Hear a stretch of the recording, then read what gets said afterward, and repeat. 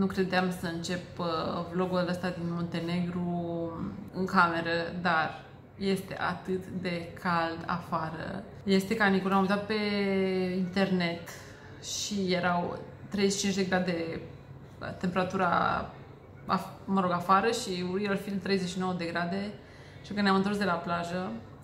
Suntem într-un concediu de șapte zile, fără copii, fără responsabilități, fără griji, fără nimic și oh, suntem mai să ne distrăm, să ne facem orice avem noi chef și să dormim și să stăm în cameră la răcoare. Și acum, înainte să facem dezastru în cameră, vreau să vă fac un tur rapid al camerei. Un pat matrimonial destul de măricel, mi se pare. Cred că are de un 60, un 80, nici nu știu. Nu avem balcon. Noi ne-am dorit să nu plătim foarte mult în vacanța asta, oricum e a doua vacanță pe, pe anul ăsta, dar condițiile sunt foarte bune. Am plătit pentru 6 nopți 312 euro. Avem televizor, vedeți că sunt și rolete, aer condiționat. Aici e un dulap cu... Avem și un uh, uscător de păr. O oglindă măricică. Deci, my husband, my hubby. Afară, deși nu era trecută pe booking și chiar m-am uitat pe poze, nu cred că exista anul trecut când a fost prima dată deschisă pensiunea și pusă pe booking.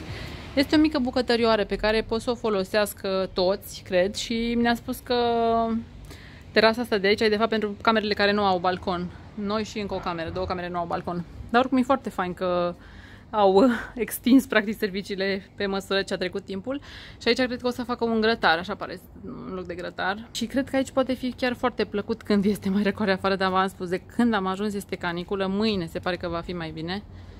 Am decis să vin de una singură la plajă pentru că Vlad mai vrea să rămână să moție puțin în casă. E foarte cald și acum, dar parcă totuși un pic mai răcoare decât la prânz. Cred că tot peste 30 de grade. Peisajul din spatele meu mi se pare atât de impresionant și frumos și plaja e super lată, e plaja gen Mamaia, exact așa lată și lungă și cu nisip, intrare lină în apă, e drept, sunt pietre, dar uh, noi am cumpărat papuși de plajă de la Decathlon și e mult mai ok așa. Și să vă arăt cum arată așa un pic împrejurimile aici. E o șosea peste care există o pasarelă pe care trebuie să o treci ca să ajungi la plajă.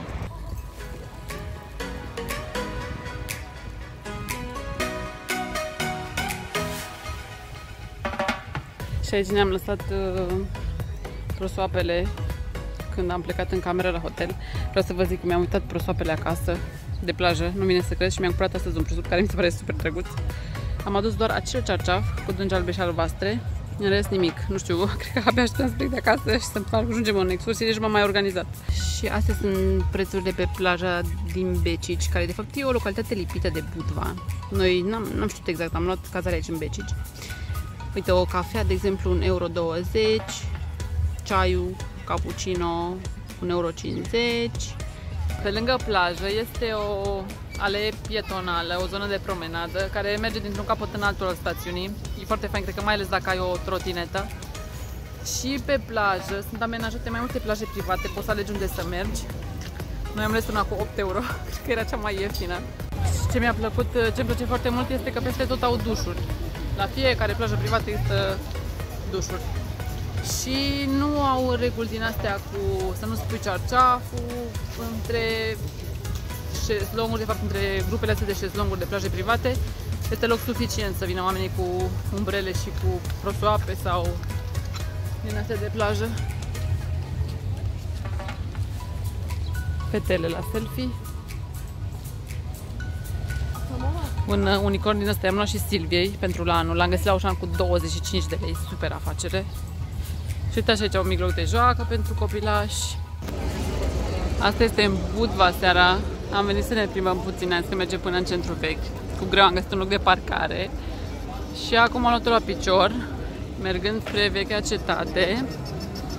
Dar este super aglomerat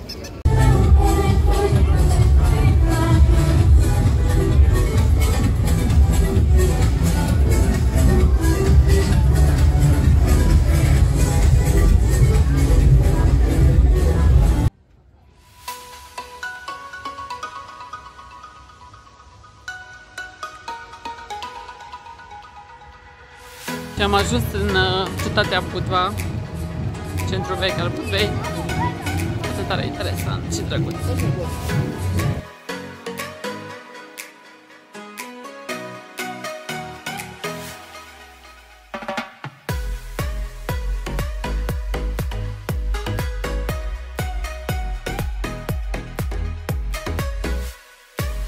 Cred că puteți judeca și voi singur că este foarte frumos, parcă ești într-un decor de teatru, arată minunat.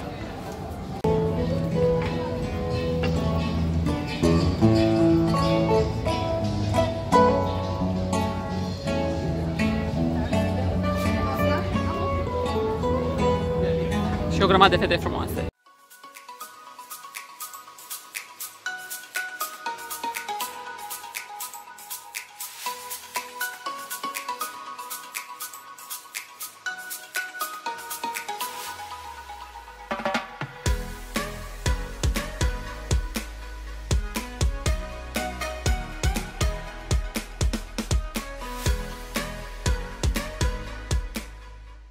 Gata plimbarea noastră prin Budva și am vrut să vă arăt o chestie, o rochie, poate o ține, mai țineți minte, cele care mă urmăriți de mai de mult.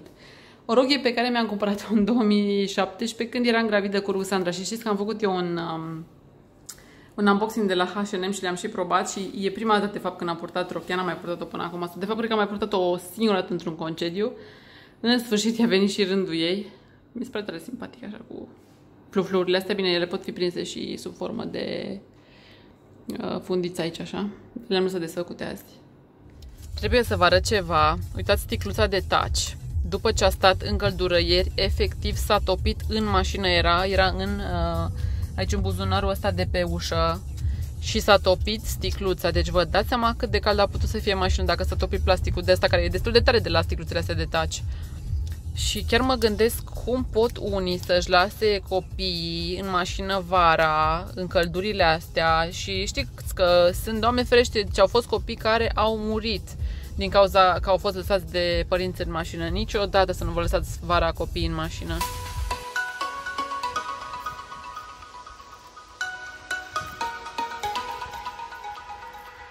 Am venit acum la o plajă super liberă și frumoasă, la Sveti Stefan, care știam că e o, o din asta o stațiune așa de bogătani, dar nu mă așteptam să fie setul de șezlong și umbrelă 120 de euro, cum vedeți pe anunțul din spatele meu.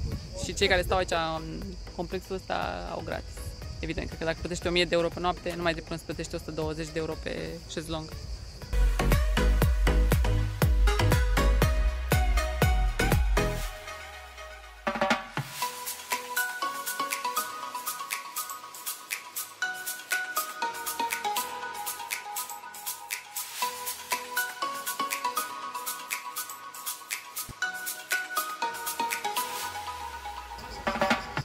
Ține-le așa dacă vrei.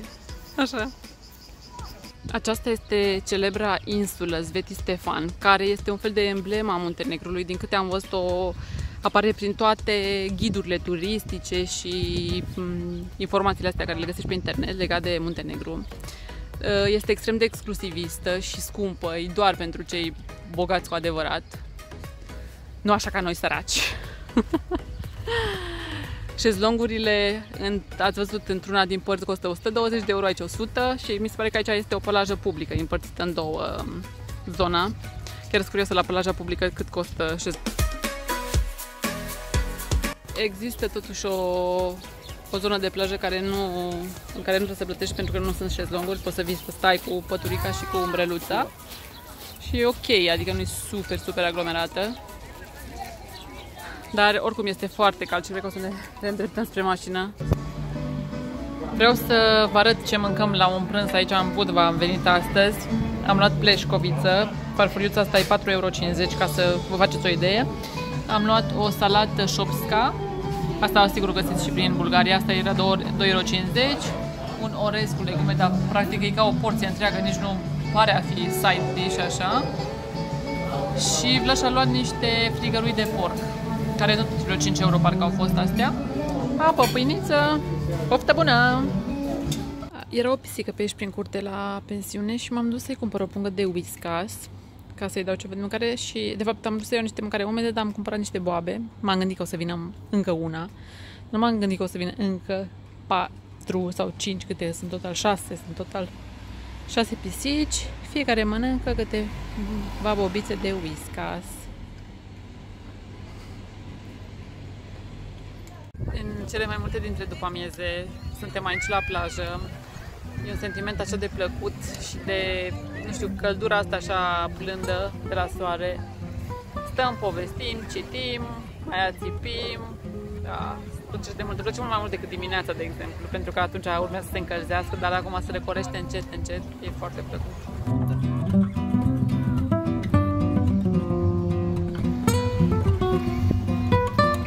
Azi e prima zi în care ne-am trezit de dimineață, ne-am trezit la 7, eu cel puțin la 7, pentru că mergem într-o croazieră de o zi prin uh, Golful Cotor și toată zona aia de acolo. Chiar sunt foarte curioasă cum va fi pentru că a costat 12 euro, ceea ce mi s-a părut un preț incredibil de bun. Ne iau cu autocarul, ne duc, ne merge pe barcă, mai facem niște opriri pe niște plaje, chestii de astea.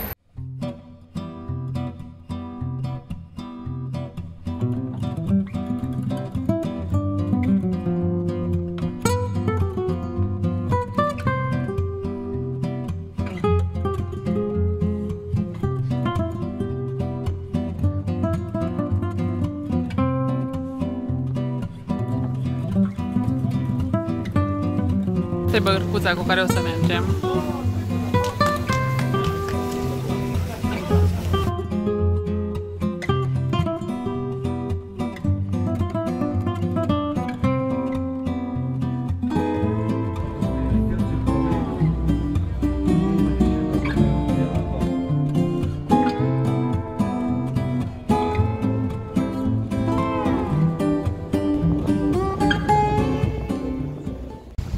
La primul, prima destinație, eh, Herceg Novi sau așa se numește, e o localitate aici pe în eh, ăsta golful Cotorț, cred că se numește cu totul, și plouă. și plouă destul de tare. Ne-am oprit la un băruleț și mm, vreau să iau acest semn ca o împlinire financiară deosebită la anul. Acum că am prins ploaia asta, ca și cum mai prinde ploaia în eh, ziua anunții. Ne-am și acoperit aici cu cu prosopul de plajă asta trebuia să fie pentru plajă, să facem baie, așa, dar de unde ne protejează de ploaie acum? Zice Vlad că dacă poate în următorul oraș în care ne oprim să ne cumpărăm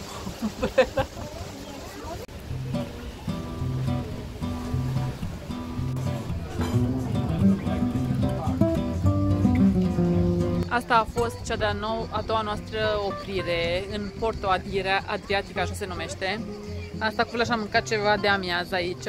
Puteam să alegem o excursie la Blue Cave, o peșteră în care se și înnoată și are o apă așa foarte faină. Dar după atâta barcă am zis că mai bine stăm și ne relaxăm un pic. Inițial ne-am gândit să stăm și la plajă, dar n-am mai apucat, că a durat destul de mult până ne-a adus mâncarea.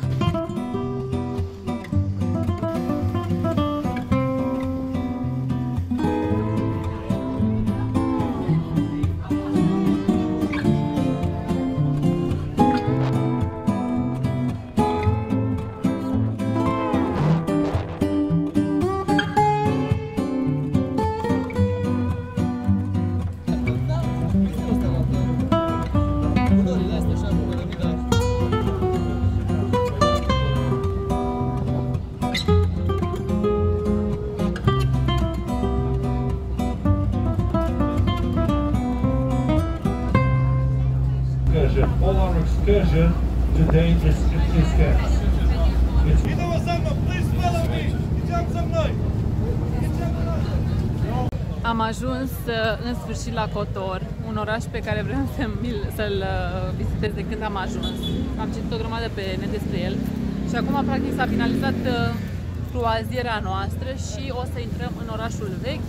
Avem două ore la dispoziție să-l vizităm și apoi înapoi spre Budva.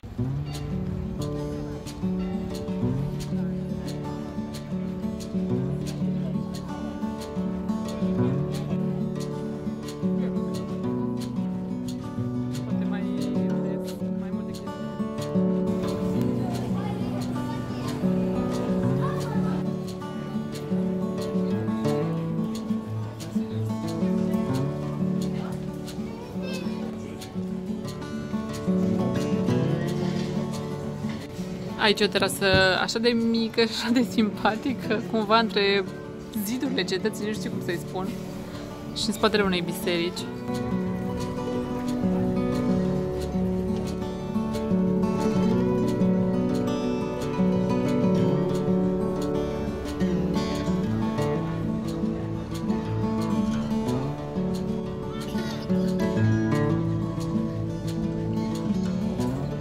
Vă arăt uh, o chestie tare interesantă. Sunt tare curioasă dacă recunoașteți copacul acesta. Este un ficus, exact ca și ficușii pe care îi avem noi prin case, foarte populari. Nu știu dacă se vede. Vedeți cum sunt frunzele? Și au și fructe.